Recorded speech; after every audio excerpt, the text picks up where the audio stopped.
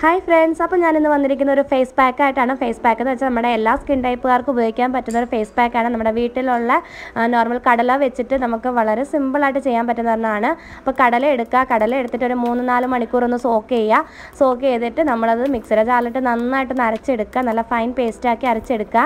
അരച്ചിട്ട് നമ്മൾ അതിന്റെ കൂടെ ചേർക്കുന്നതെന്ന് വെച്ചാൽ കാപ്പിപ്പൊടിയാണ്. നമ്മുടെ coffee powder coffee powder instant ആണെങ്കിലും അല്ലെങ്കിലും കുഴപ്പമില്ല.